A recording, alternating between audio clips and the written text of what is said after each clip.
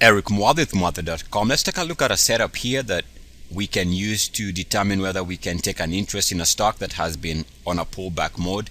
Here we're taking a look at a penny stock, TRTC, which has come off the highs recently at 75 cents all the way to the lows here under 25 cents and now seemingly trying to recover to the upside.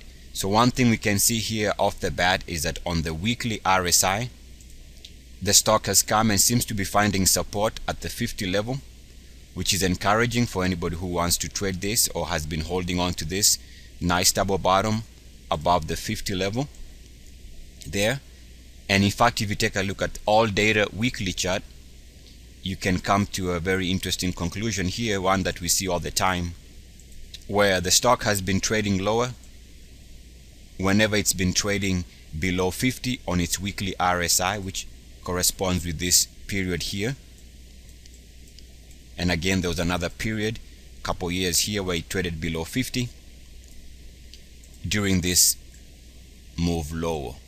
Now you can see the most successful rallies in the stock have come when the RSI was trading above 50 so we're talking about this period here which corresponds with this rally mode. And also recently here we can see that corresponds nicely with the period when the stock was moving higher.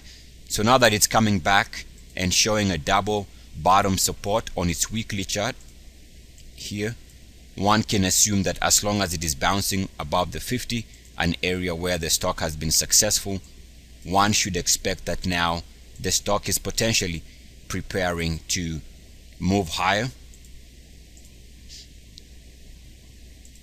Now if you take a look at the monthly, the true momentum will not come until the stock can clear the recent monthly closing high and that's at 0.4180 so a breakout above 0.4180 is what the bulls in the stock want to see. Otherwise that breakout would also correspond with the RSI potentially moving to three-year highs and also the fact that the MACDs are already trading at three-year highs or at least one of the MACDs is trading at three-year highs and close to moving above the MACD zero line for the first time ever.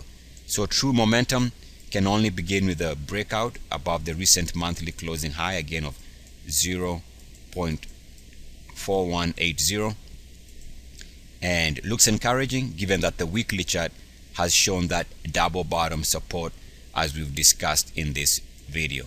Eric Muathe.com. As always, good luck, peace, and blessings. E A C S.